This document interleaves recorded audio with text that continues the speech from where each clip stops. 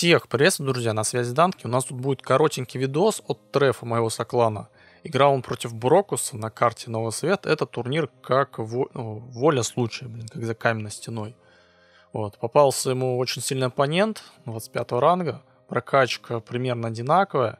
Вроде бы на 25-26 ранге разница в апгрейдах э, не особо большая. Так сказать, небольшой баланс. И по времени боя, тут запись длится еще 4 минуты. Я так понимаю, тут бой закончился как-то очень быстро.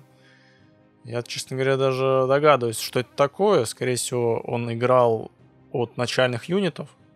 Ну, ладно, сейчас посмотрим. Сбор ресурсов. Э, встречаются два стрелка.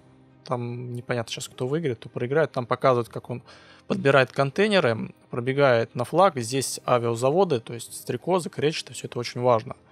Вот, в развертку он вышел вверх, поставил два центра снабжения. То есть всего у него их 4, я вроде заметил. 4 центра снабжения, верфь, развертку и сбор уже по морю происходит ресурсов. Сражение за флаг с трикозами. А, центральный флаг он удержал койотами. Включает boost на строительство и выходит в аллигаторы. Показывает нам. Да, неплохая идея. Апает казармы. Ну и да, в общем, да, играет он через начальные юниты. Производит их реально в массовых количествах. Это прям Имбовая тактика закидать мясом противника, перезахватывать нижний флаг. Вот этот флаг, э, фиг узнать, что он дает, скорее всего, только обзор.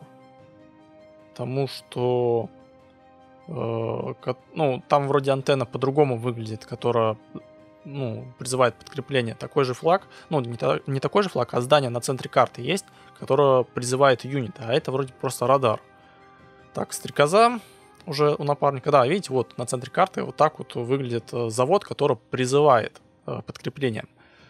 Э, кайманы приплыли на базу на разведку, увидели строящуюся торпедную установку. Вот бустом обороны пытаются ее пробить. До 10 минуты там прям урон увеличивается очень сильно. Поэтому эффективно использовать именно этот boost. Так, ну, торпедка все же успела достроиться. Кайман ходит, и аллигатор меняет маршрут. Он, наверное, хотел, надеялся, что успеет уничтожить торпедную установку, но не получается.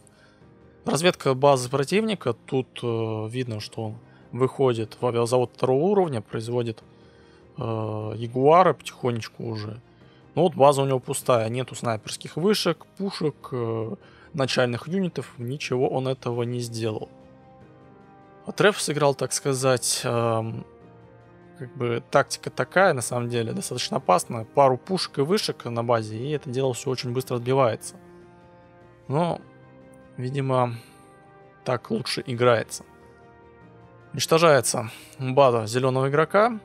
По сути-то он и обороняться здесь ничем не может. Атакуют аллигаторы.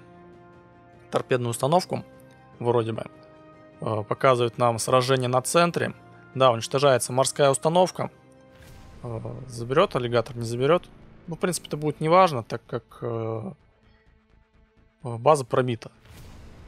Вот эти два аллигатора, даже если бы остался один, они все равно такой огромный урон нанесли бы противнику. И там уже такое кольцо взяли, зеленую базу, что отбиться он, наверное, не сможет от трефа. Да, в общем, жестко-жестко зарашили. По таймингу пятая минута, уже все. Уже база окружена, у трефа 82 КО доступно. Э, точнее недоступно, а занято юнитами из возможных 80. В общем, играет он через удержание флагов, быстрый раш. Ну, что хорошо на трефе, то что у него все юниты начальные прокачаны абсолютно full.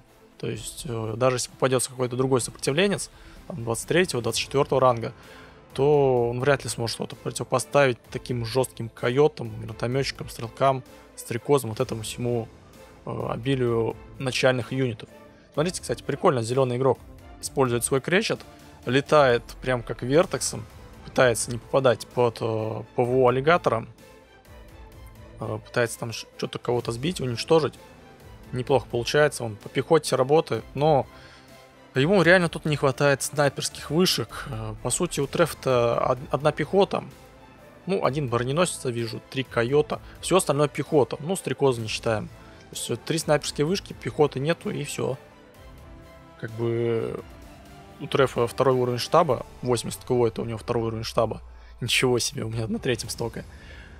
И бой заканчивается. Благодарю Трефа за предоставленную запись боя. Вам спасибо за просмотр. Ждите следующий видос.